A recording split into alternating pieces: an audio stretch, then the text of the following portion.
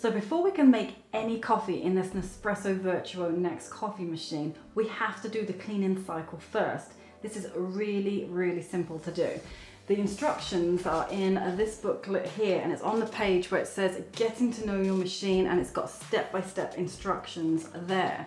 But basically, what you have to do is open up your machine. First of all, get your water tank, wash it, fill it up with water, and then replace it at the back of the machine, just like that.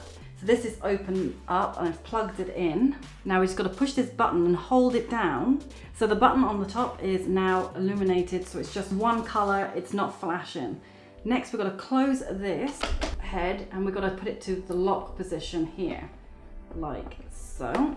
Make sure we have a measuring jug underneath because it's going to drop 400 milliliters of water through this cleaning cycle.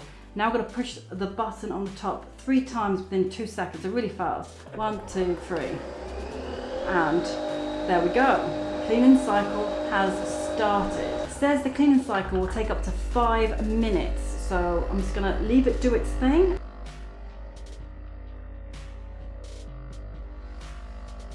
So that's the cleaning cycle all finished. The instruction manual said to put a 400 ml cup under this, but actually chucked out half a litre of liquid. So I would suggest to use a measuring jug. I mean, this is literally on the brink of overflowing. So yeah, use a big jug when doing the cleaning cycle. Don't listen to the instructions because it's more than 400 milliliters.